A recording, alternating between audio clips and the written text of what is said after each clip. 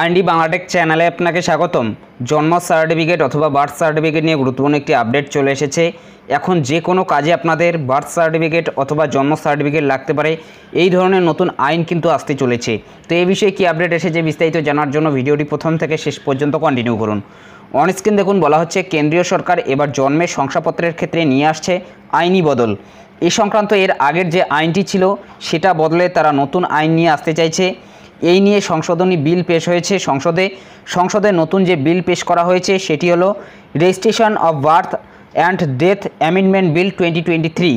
তাছাড়াও দেখুন, এখানে বলা হচ্ছে, আগের আইনটি ছিল উনিশশো উনসত্তর সালের registration of birth and death act উনিশশো উনসত্তর, এবার সংশোধনী বিল আসছে এই আইনটিকে কেন্দ্র করেই। এই বিল যে আইন আনছে, তার সূত্রে এদেশের যে কোনো নাগরিককে যে কোনো ক্ষেত্রেই দাখিল করতে হবে বার্থ সার্টিফিকেট। নতুন এই আইনের বলে এবার এক বার্থ সার্টিফিকেটই হবে হাজারো কাজ। কি কি করা যাবে?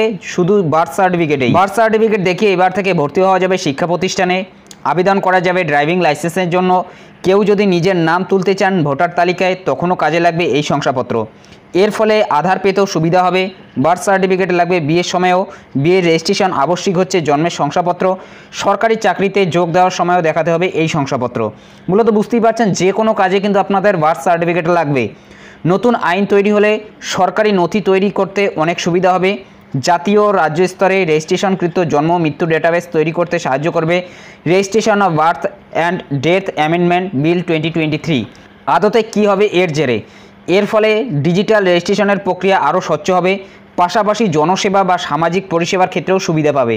অর্থাৎ যে কোনো স্কিমে নাম নথিভুক্ত করাতে গেলেও কিন্তু আপনাদের এই যে বার্থ সার্টিফিকেট অথবা জন্ম সার্টিফিকেট এটার কিন্তু অনেকটাই গুরুত্ব থাকবে। তো এটা নতুন আইন কিন্তু আসতে চলেছে, এরকমই কিন্তু খবর আপাতত রয়েছে। যদি এ বিষয়ে নতুন কোনো আপডেট আসে, অবশ্যই কিন্তু আপনাদের জানিয়ে দেবো। তো এটাই আপডেট দেওয়া ছিল। যদি ভিডিওটি ভালো লাগে, একটি লাইক করে দেবেন। চ্যানেলে নতুন হলে চ্যানেলটি সাবস্ক্রাইব করে নিয়ে পাশে থাকা বেলাইকনটি প্রেস করে অল নোটিফিকেশনটি অন করে দেবেন। তো ভালো থাকবেন, সুস্থ থাকবেন। দেখা হচ্ছে নেক্সট ভিডিওতে